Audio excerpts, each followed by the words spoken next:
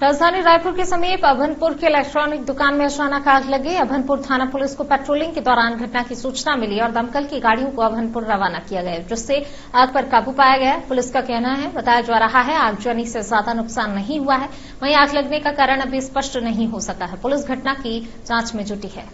रात को अभनपुर स्थित जो इलेक्ट्रॉनिक दुकान है उसमें आगजनिक घटनाओं के संबंध में जानकारी मिली थी, जिस पर थाना प्रभारी राहुल शर्मा के द्वारा अपने स्टाफ के साथ लगातार पेट्रोलिंग करते हुए तत्काल वहाँ पहुँचा था और पहुँच करके जो लगा हुआ आग था, उसके दमकल को बुला करके लगातार कार्रवाई करते हुए रात में नियंत्रित कर लिया गया। जिसमें किसी भी प्रकार के ज़्यादा जो हानि है उसको होने से बचा पाया गया है। और इसके साथ ही साथ अभी जो कारण है, उसके संबंध में जाँच की जा रही है, क्या, कैसे लगा और किन परिस्थितियों में लगे, उसके संबंध में पूरी टीम के द्वारा जाँच की जा रही है।